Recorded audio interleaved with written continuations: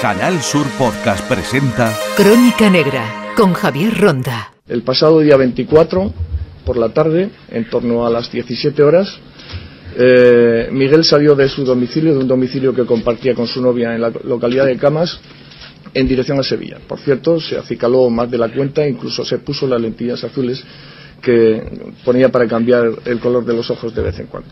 Previamente había quedado con Marta, torno un poquito más adelante de las 7 de la tarde. Desde ahí se trasladaron a la vivienda de León 13, donde el domicilio familiar de Miguel.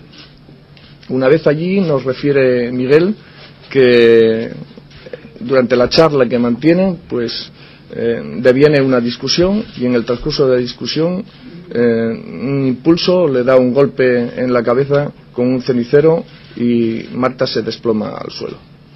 Mm, en unos minutos, pues eh, está desconcertado y decide llamar a, a, sus amigos Samuel y el Cuco para que le ayuden. La llamada se hace desde una cabina de enfrente de la vivienda. Nos dicen que allí la arrojan al río. Miguel, en la motocicleta, se traslada al domicilio de Camas. Tenemos pruebas. El cenicero no ha aparecido porque lo ha tirado al Guadalquivir. No obstante, ese interés tan inusitado que tenía el autor de deshacerse de la pieza con la que había golpeado Marta le ha, llegado, ha sido nuestra primera prueba fundamental. Porque al esconderla entre sus ropas, la sangre se transfirió a una chaqueta y ahí fue precisamente el primer punto eh, que recogimos. Mm, yo creo que es el miedo al fracaso, a una nueva búsqueda, a que todo el mundo se entere y que no aparezca nada. Por eso os digo que soy yo el primero, mmm, que si busco, como otra vez he buscado, sin que se entere nadie, el fracaso y la disolución me lo llevo yo, ¿eh? como ha habido tantas veces. Mm, esta ocasión no sé, no sé, ni la entiendo ni la comprendo. Pues si tiene miedo al fracaso, déjame a mí que lo haga. En Canal Sur Podcast Crónica Negra con Javier Ronda.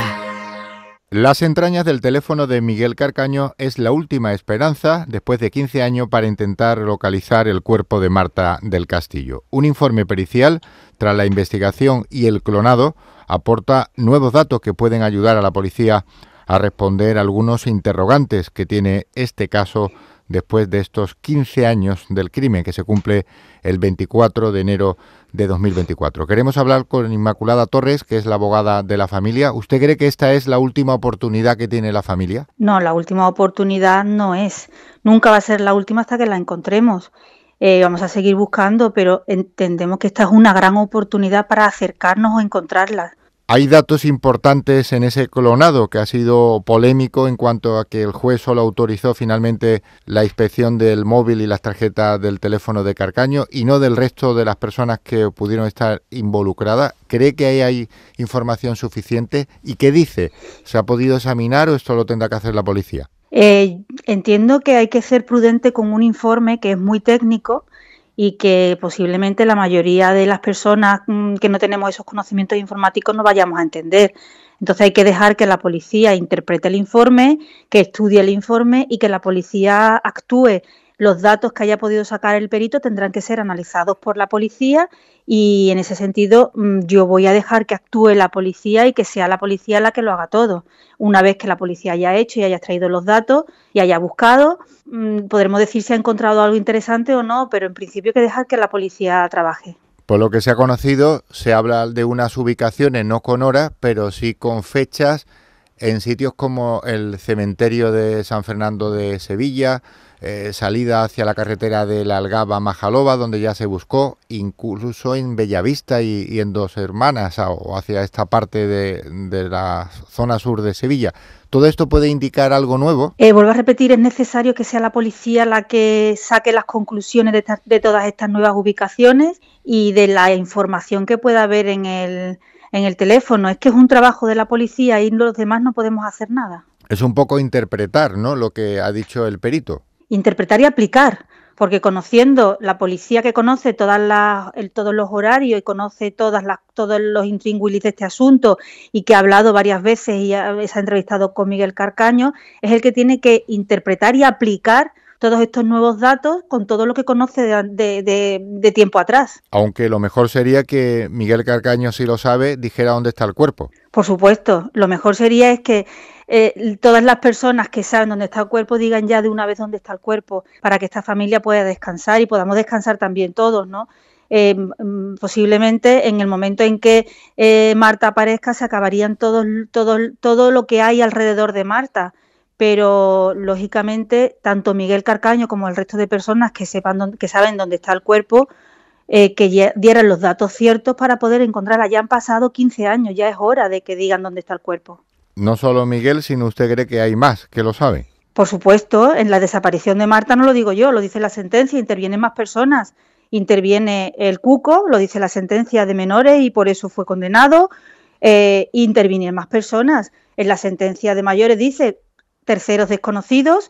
En la sentencia de menores sí dice quiénes son los que intervinieron, pero lógicamente mm, una persona no se olvida dónde ha dejado un cuerpo después de unos hechos tan trágicos como es acabar con la vida de una persona. Eso no entra en cabeza humana que se olvide dónde han dejado un cuerpo. Se juzgó a Carcaño y se juzgó al Cuco, pero hay dos sentencias con dos realidades y dos hechos distintos.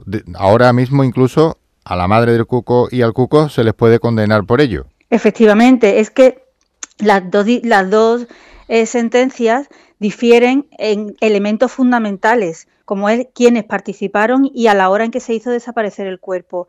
¿Dónde está, ¿Dónde está la raíz de esa diferencia? Pues en la declaración del Cuco. La declaración del Cuco, que en menores declaró en una condición, em, en mayores declaró como testigo, es cierto que la madre le sirvió de cobertura en mayores en relación con la hora, eh, con la declaración del Cuco se cambió el, el horario de todo, por eso la sentencia de menores dice que las labores de desaparición tuvieron lugar a partir de, la una y media de la madrugada porque no se creyó eh, la, declaración del Cuco en relación con la hora, porque él decía que a esa hora estaba en su casa. Claro, que la declaración de la, la sentencia de mayores dice que es a partir de las 10 de la noche porque el Cuco mintió y dijo que estaba en su casa y la madre eh, y su padre eh, mantuvieron después que sí, que estaban en su casa a la una y media, que llegaron y que les dio un beso. Después ellos han reconocido que mintieron en juicio, que esa declaración fue mentira, que no. Entonces, ahí, radica la diferencia de las, de las sentencias, porque al cambiar los horarios, cambia las personas que, estaba, que tenían coartada en, en el juicio de mayores porque lo sitúan en distintos horarios y cambia la hora de la desaparición. Entonces, esa, esa mentira provocó un vuelco del procedimiento. Y en cascada, y desde luego la primera, no saber ni dónde ni cuándo estaba el cuco. Efectivamente, efectivamente. Y en cuanto a lo que sabe el abogado del caso, en este caso Inmaculada Torre, ¿dónde cree que está el cuerpo de Marta después de todas estas declaraciones, estos años de investigación, de búsqueda? La opinión como letrada que conoce el procedimiento y en profundidad las entrañas del asunto, ¿cuál es? Yo, eh, si supiera dónde estuviera, eh, ojalá lo supiera, pero creo que la versión que tiene más, eh, no sé, más visos de ser realidad es la última que dio.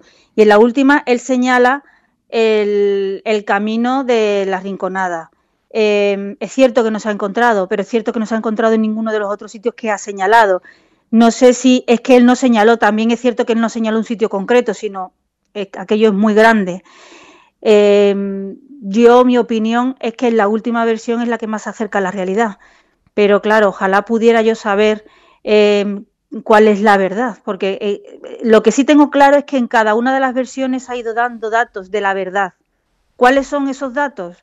Pues mm, eh, no lo sabemos. El único dato cierto es que mataron a Marta. ¿Quién mató a Marta? Hay un condenado. Hay un condenado. Eh, ¿Dónde está? No lo sabemos, pero eh, posiblemente la última versión es la que dé más indicios de lo que pasó y de dónde está. Que no se haya encontrado en Majaloba o por la Rinconada no significa que no esté allí, sino simplemente que no se ha hallado, porque la zona es muy amplia, como acaba de decir. Y esa versión, si tiene credibilidad, más el marcaje que hace el móvil de Carcaño, podríamos estar en esa zona. Efectivamente, es que, que no se haya encontrado allí no significa que no esté, porque aquello es una zona muy amplia y no se ha buscado en toda la zona se ha buscado en determinados sitios, pero no en toda la zona. De hecho, cuando Carcaño dio esta última versión, se le volvió a investigar por delito contra la integridad moral por haber vuelto a mentir. Y sin embargo se archivó ese, por el mismo instrucción, el juzgado de instrucción número 4, se volvió a archivar ese asunto porque decía exactamente esto. Es cierto que no se ha encontrado a Marta, pero tampoco podemos decir que no esté allí porque es que no se ha analizado todo el lugar. Y él no había señalado un sitio concreto. Nunca lo hizo en este extremo, simplemente dijo una zona. Exactamente, nunca señaló un sitio concreto. Quizás porque sabía que era el sitio o el punto caliente donde al final podría aparecer. Bueno, ojalá pudiéramos entrar en la cabeza de Carcaño y decir por qué mm, no señaló el, lugar concreto. Eso no lo sabemos tampoco, pero lo cierto es que no lo, no lo señaló. Señaló solamente la zona. Pero el móvil lo ubica por allí. Eso vuelvo a repetir, es que hay que esperar a que, a que sea la policía la que analice el móvil y que, y que saque las conclusiones de las ubicaciones.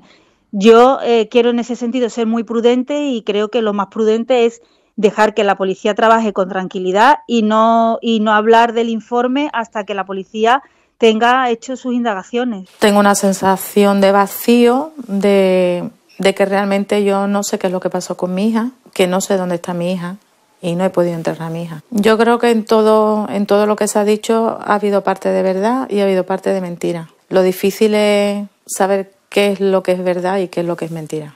Eso se aguanta con tratamiento médico, porque hoy por hoy todavía yo tengo que tener tratamiento médico. Si no, no, yo no sería capaz de estar pues ahora mismo aquí hablando, Y luego, pues, siempre he querido pensar que mi hija esté donde esté nos ha transmitido tanto a su padre como a mí, como a la familia que, habéis conocido a través de la televisión, fuerza. En Canal Sur Podcast han escuchado Crónica Negra con Javier Ronda.